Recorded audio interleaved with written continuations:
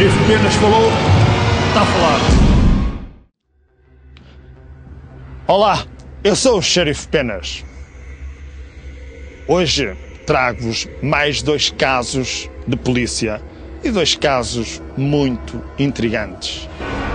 No primeiro, uma mulher abusava sexualmente do seu próprio filho, tratava-o mal e ele ainda era deficiente. Mas este é um caso a que eu voltarei um pouco mais à frente neste programa. Tarado inventava cancros para despir mulheres por telefone. É isso. É isso mesmo. Ouviu bem. Ouviu bem. Tarado inventava cancros para despir mulheres por telefone. Carlos Ferreira, da Vila das Aves, de Santo Tirso, era um homem bem falante. Era um homem aparentemente normal. Era um chefe de família. Tinha quatro filhos.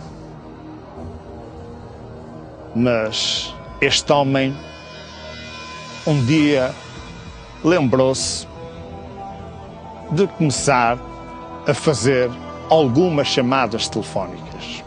Este homem não sabe bem como, mas conseguiu ter acesso a dezenas e a dezenas e a dezenas de números de telefone de mulheres que fizeram teste para perceberem se tinham o cancro do colo do útero ou da mama, do Minho ou Algarve.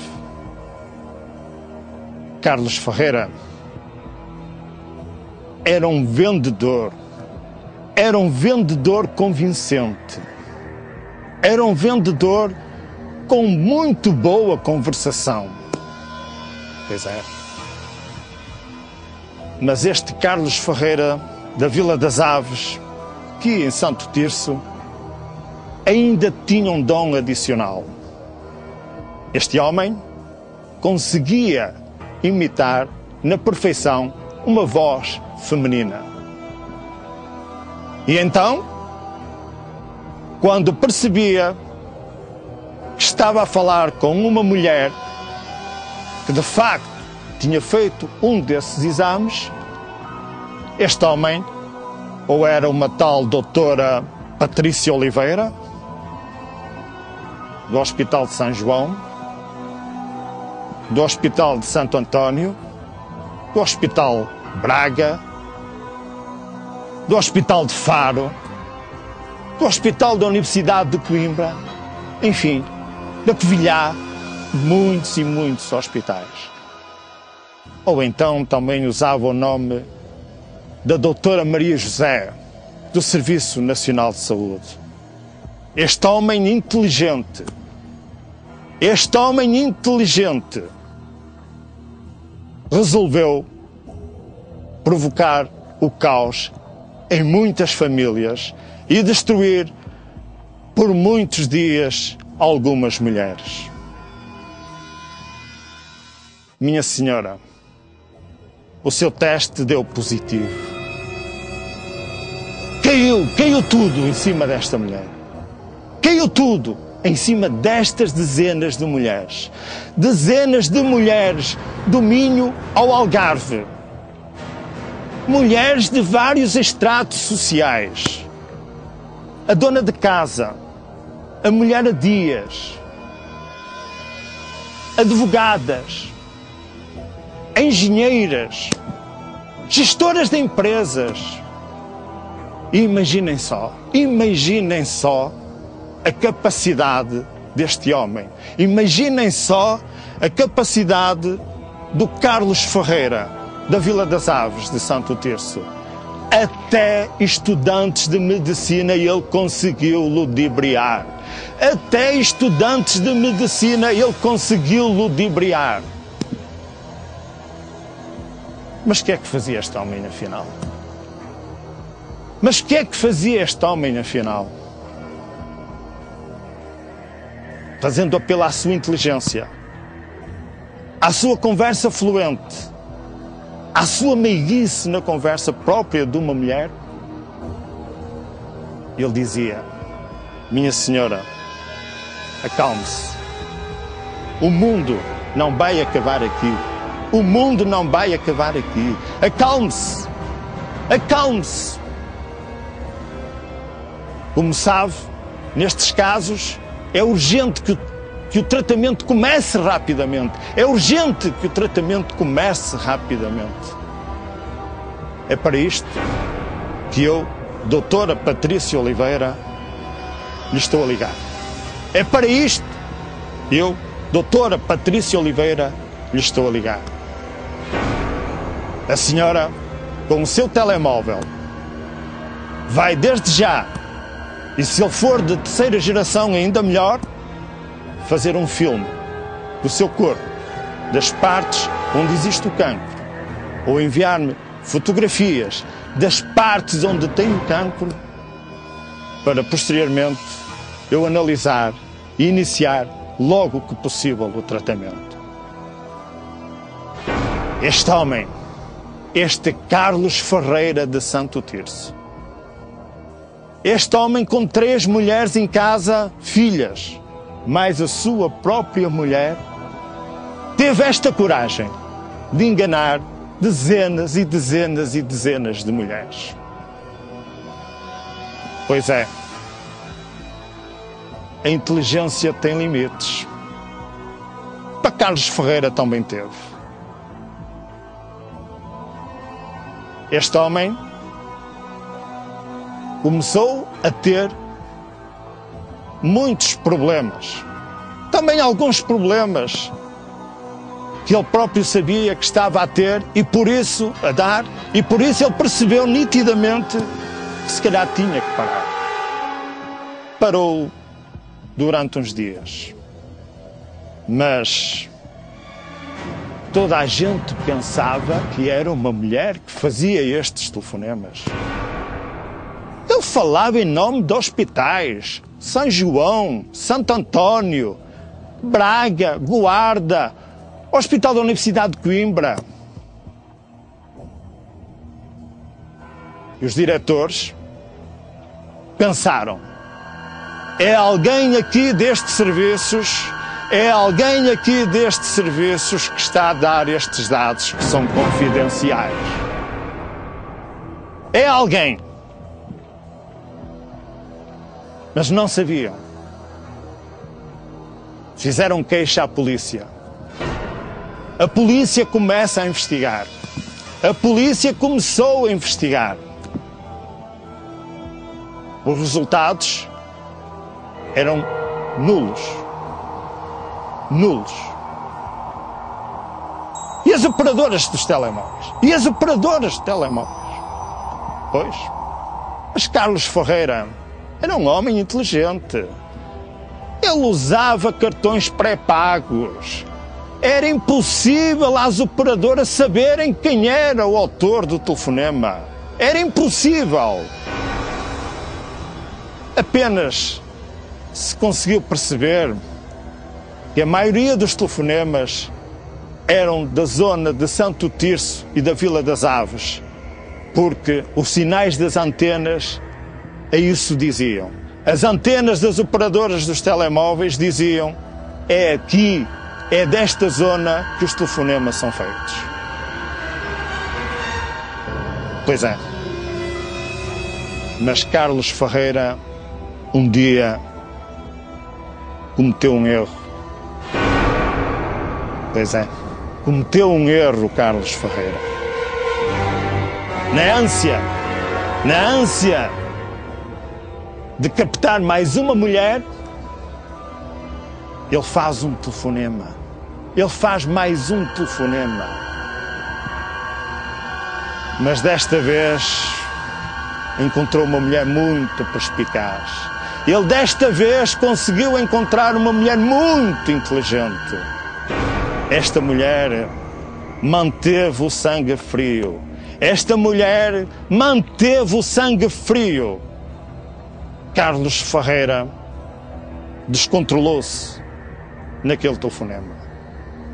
Carlos Ferreira não contava com a reação daquela mulher. E então, a dado momento daquele telefonema, ele disse: Eu estou-lhe a ligar porque vi o seu número de telemóvel no El Clerc de Lousada, no supermercado. Erro. Erro fatal. Provavelmente estava aqui o início da descoberta deste caso. Provavelmente estava aqui o início da descoberta desse caso. Essa mulher, inteligente, pegou no seu telemóvel e foi levá-lo à polícia. Essa mulher, muito perspicaz, teve a força suficiente para pegar no seu telemóvel e levá-lo à polícia. A polícia, na posse deste elemento, o que é que faz? O que é que faz a polícia na posse deste elemento? Foi ao El Clerc de Lousada. Foi ao El Clerc de Lousada. Pediu para visionar as imagens das câmaras de videovigilância daquele dia e daquela hora. E o que é que a polícia vê? Um Rover 200. A polícia viu um Rover 200 Alguém acionou aquele número de telemóvel de dentro daquele Rover 200, pelas imagens que se via. Alguém acionou aquele número de telemóvel àquela hora do interior daquele Rover 200. Não se conseguia perceber quem era, mas alguém foi, alguém foi, era quem estava ao volante daquele Rover 200. A polícia investigou investigou. Mas eis que um polícia atento, um polícia muito atento, repara que o Rover 200 estava parado ao pé de um snack bar. Repara, aquele, viu aquele Rover 200 parado em frente a um café. E eis que aparece o Carlos Ferreira, de telemóvel, a tentar convencer outra mulher, a tentar convencer outra mulher. Foi preso. Foi preso. E agora? E agora? E agora, pergunto eu, você que me está aí a ver, e agora, pergunto eu, você que me está aí a ver, o que é que faria? O que é que o senhor faria? Você que me vê, o que é que me fazia? Se fosse a sua mulher, se fosse a sua irmã, se fosse a sua mãe, se acontecesse isso a alguém da sua família, olha, eu, eu atirava-me a ele, eu partia-o, eu batia-lhe. Garanto, eu batia-lhe. Eu dava-lhe quatro estalos. Este monstro, este monstro, o que é que ele fez? Já viram bem o que é que ele fez? Já viram bem o que é que ele fez anunciar quase a morte a dezenas e a dezenas de mulheres de norte a sul do país? Já viram bem? Ele dava-lhe quatro sapatadas, digo. Pois é.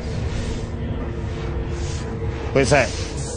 Este homem não se importou de nada. Este homem não se importou de nada.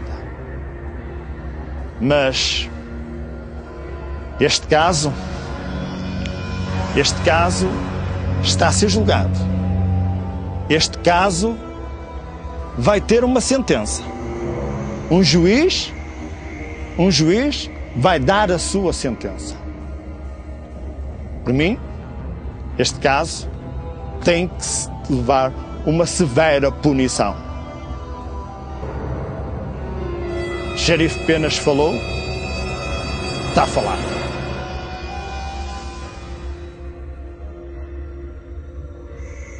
primeiro caso que vos falava, uma mãe, dois filhos, um deficiente e ainda uma nora. Quatro pessoas a morarem num bairro da cidade do Porto. O filho, mais novo, de 21 anos, é portador de uma história muito triste. Uma história muito comovente. Ele é deficiente. Trissomia 21. Não consegue falar. Não consegue quase falar. Este rapaz de 21 anos era insultado em plena rua. Era maltratado em plena rua. Era sovado em plena rua. Era pontapeado em plena rua. E sabem por quem? Pela sua própria mãe. Como é que é possível? Como é que é possível uma mãe fazer isto a um filho, a um pobre filho, a um débil, a um débil ser humano, ainda por cima tão deficiente como ele era? Metia dó. Metia dó. Metia dó ver aquele miúdo sempre triste, triste, triste, acabrunhado. Metia dó. Mas agora, você que está em casa, faz uma pergunta, como eu fiz. Como é que é possível mais três pessoas lá em casa, ninguém, ninguém dizer nada? Como é que é possível? Como é que é possível ninguém fazer queixa?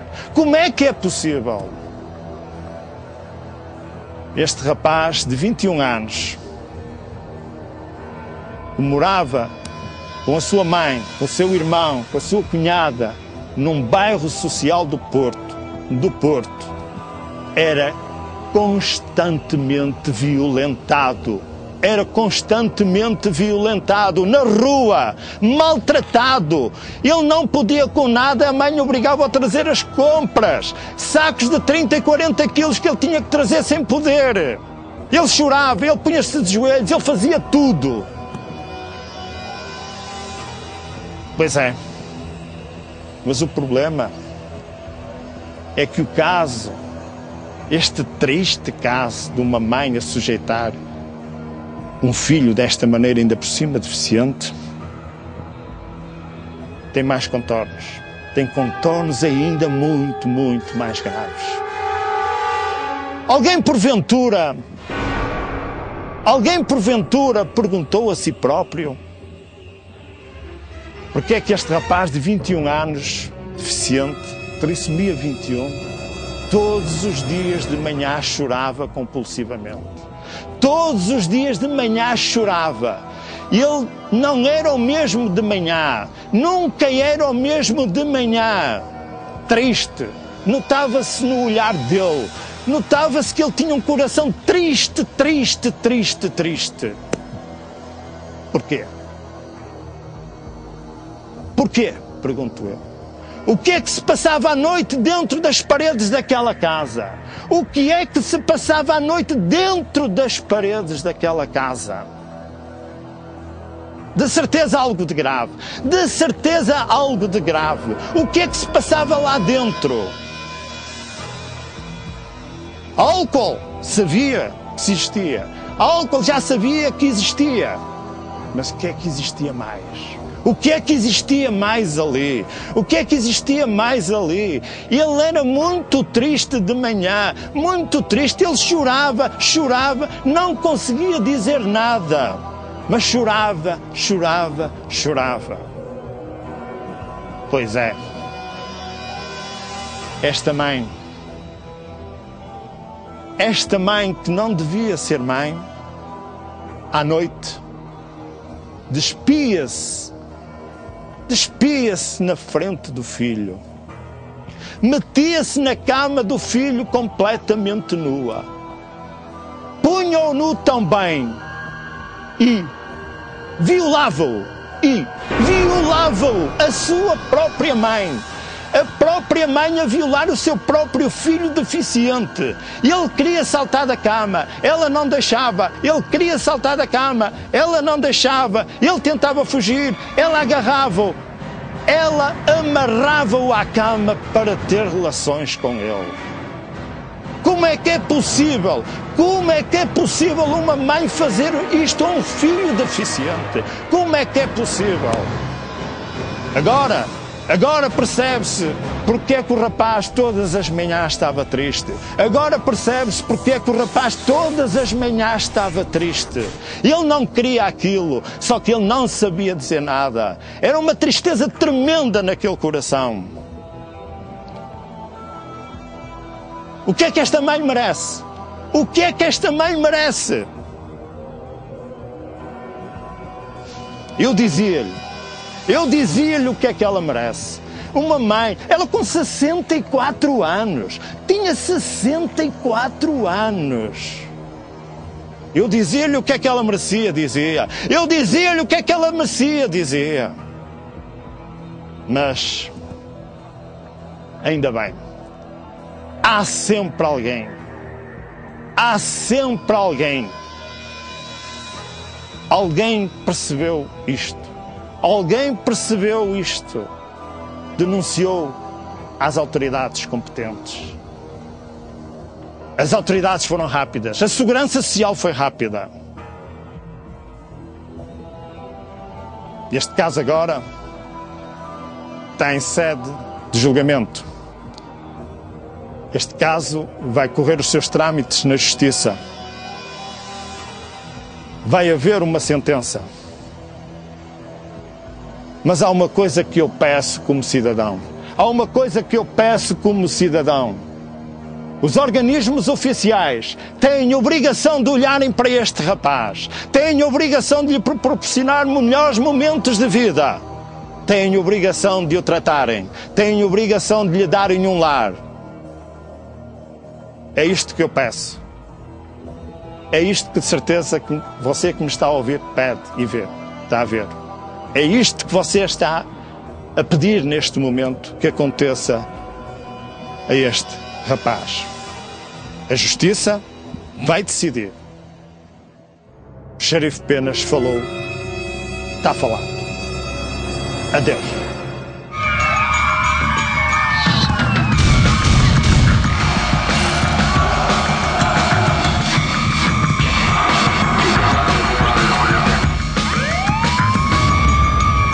Xerife Penas falou, está falado.